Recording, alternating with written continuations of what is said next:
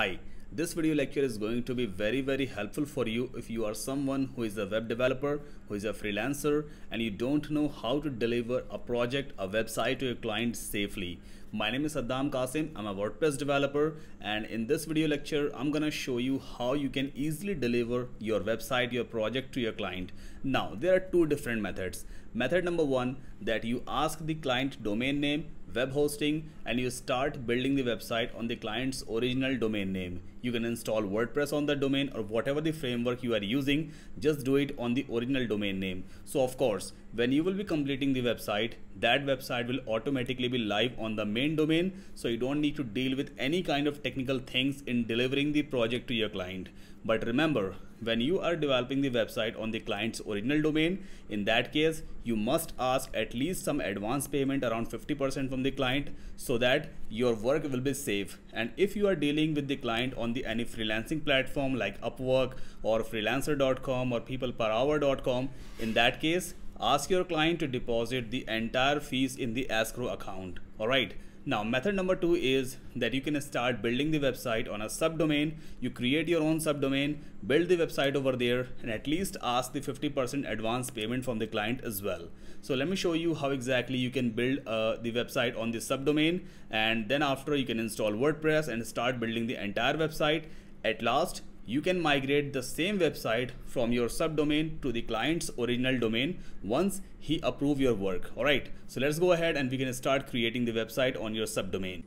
To create a subdomain, firstly you need to log in into your web hosting account. Now no matter what web hosting you are using, you can just log in into your hosting cPanel. So I'm just going to log in into my HostGator account.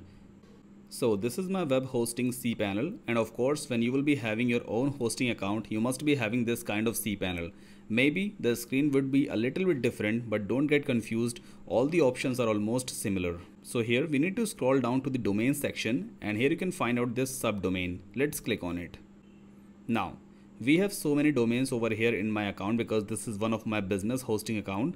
So i'm just going to create a subdomain of my existing domain. What is subdomain? Basically let's understand it. Subdomain means a child domain. So let's say websoftglobal.com is the main domain name. So i can create a child domain of this domain name right? So i'm going to select a different domain from this list.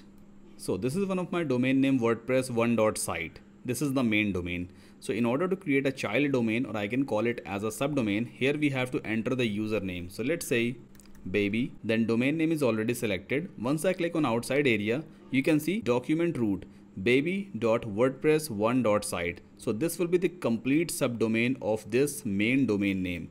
At last we have to click on create. So this baby domain will be created. It's done. You can see baby.wordpress1.site has been created. Let's go ahead and we can open this subdomain into a new tab. Here we go. So there is no website on this domain name. That's why it shows 404 error page not found. Now let's go ahead and we can install WordPress on this subdomain. So we need to go back and here is the grid icon to go back onto the cPanel dashboard screen. Now we have the WordPress installation uh, applications over here. So I'm just going to use this Softaculous apps installer.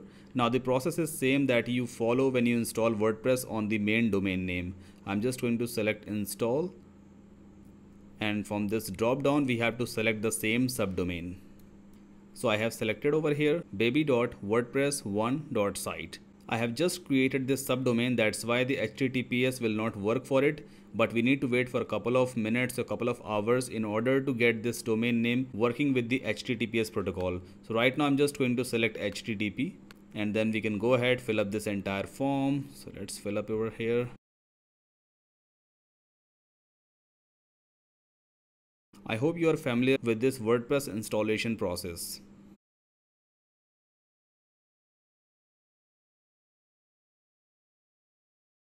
Alright, so the WordPress has successfully been installed. Now let's go ahead and we can open the same website into a new tab.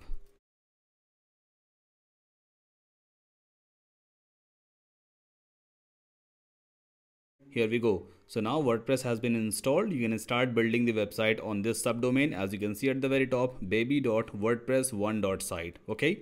So you can build the website over here. Once the website is ready, you can share this URL with your client to check how exactly the work has been done. If he approved the work, then you can start migrating the website or what does this migrating means? Migrating means that you can shift the entire website onto a new domain and that new domain will be the client's original domain name. So if you don't know how migrate a website from one domain to another domain, just go on to my YouTube channel that is youtube.com forward slash Saddam Kassim and here I have created a separate video on how you can migrate a website.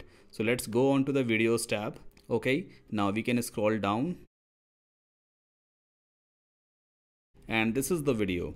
Website migration. So migration means that you can shift a website from one domain name to another domain.